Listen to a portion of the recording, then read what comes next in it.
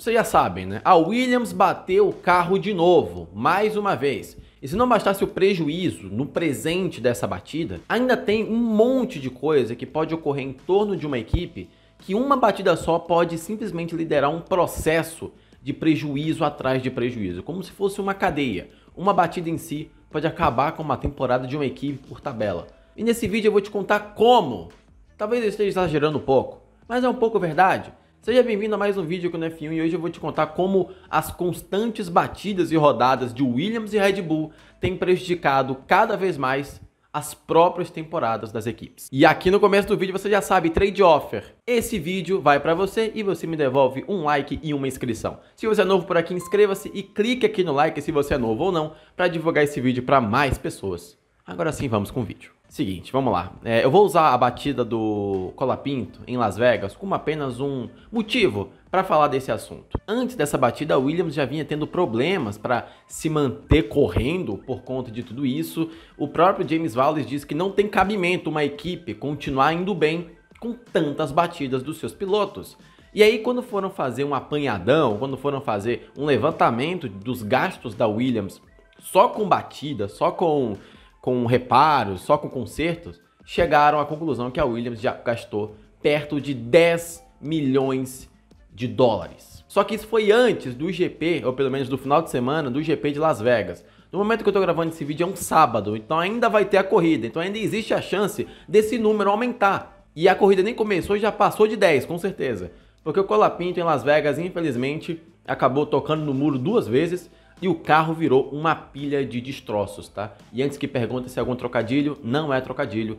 De fato, o carro virou um monte de pedacinho mesmo. E isso implica em várias coisas. Na primeira, no trabalho dos mecânicos. A Williams divulgou um documentário, na real, um vídeo de 8 minutos, não sei se vale como documentário, mas a Williams divulgou como que funciona o processo de reconstrução dos carros dela.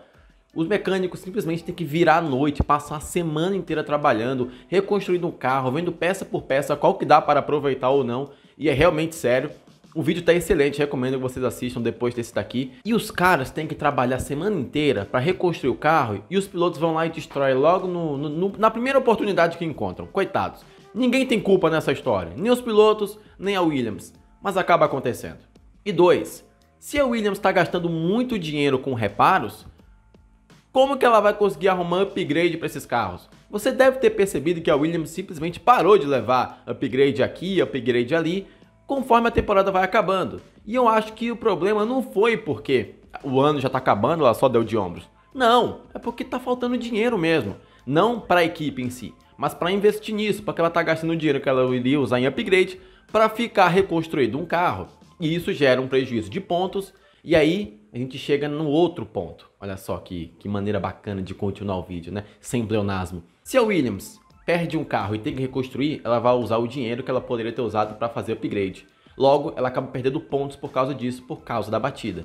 E aí, no fim, olha só, ela perde posições no campeonato de construtores e assim perde mais dinheiro. Então ela tem que pagar conserto e acaba perdendo dinheiro porque ela poderia ter investido em atualizações e isso acaba acontecendo. Um outro exemplo disso é a própria Red Bull, que com Sérgio Pérez, infelizmente para eles, ela é a segunda equipe que mais gastou nessa estimativa com reparos.